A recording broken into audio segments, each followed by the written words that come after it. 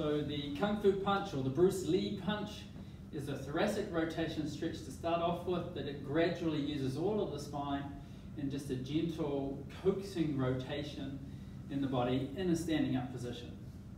So the first position, hand is about chest, the palm is up, and then I make a fist.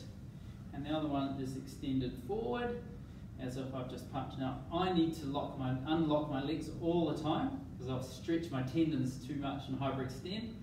Just check that you don't do that yourself. Bend the knees, it unlocks the core. And what I mean by unlocks the core, it enables the core to now work and function, as opposed to locking out your spine for your, for your spinal stability strategy. So bend the knees, and then all we're going to do is swap and punch like that.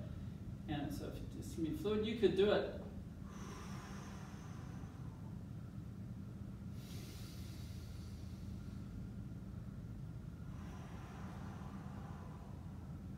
So one, one movement, or you can just do a little bit quicker, not too fast. This is the first warm-up exercise.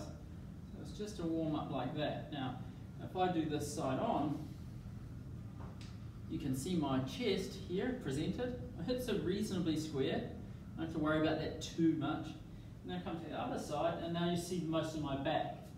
So some people just go like this, right? But it's not about that. About the spine rotating, and the head stays forward. Okay, so if you get that, so that's that thoracic rotation that we did in our overview.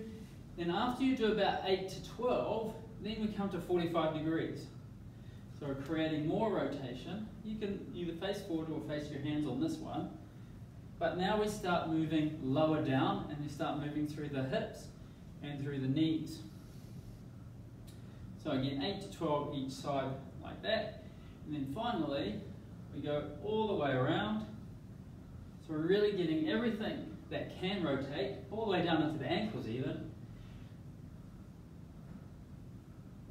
So you're getting head to neck rotation, thoracic rotation, lumbar rotation, hip rotation, the knees, well they, they do rotate because we don't really want them to, but they do, and then ankles as well. So you've got the ankles, knees, hips, spine, spine, spine, shoulders moving. So it's a fantastic warm-up to do for any rotation sport whatsoever. If that's the only thing you do, this is the one.